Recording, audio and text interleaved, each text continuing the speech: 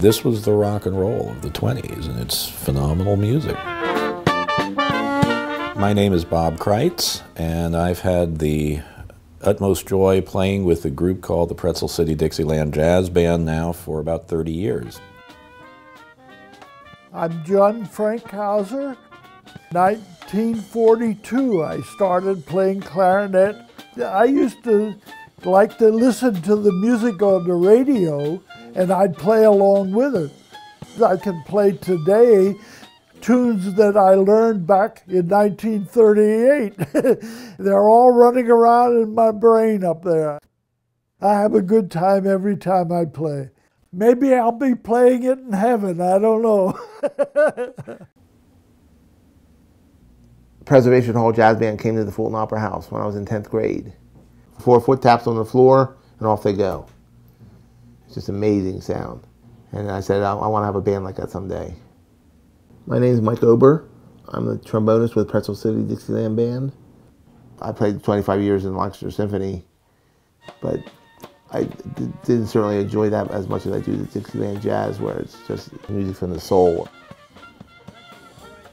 I was playing music from the time I was 12, 13 years old. Friday nights was music night at my uh, mother and father's home on West Stoley Street.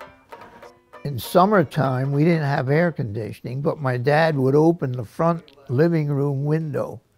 The neighbors liked that. They would all come out and sit in their porches and listen to it.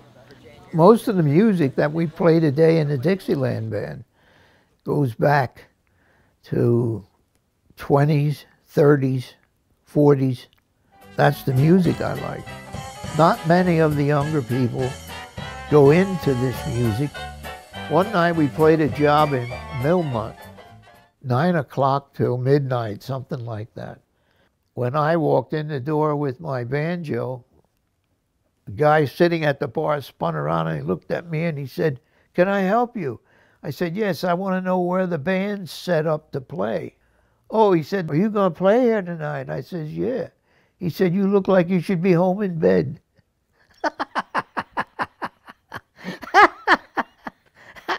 that was a riot. But, anyways, the Dixieland band started playing, and there was probably five people left in that bar room for the rest of the night.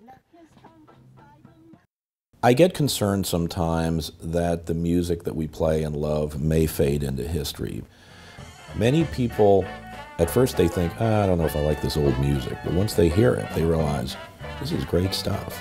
So I'm fairly optimistic that this is the type of music that's going to last.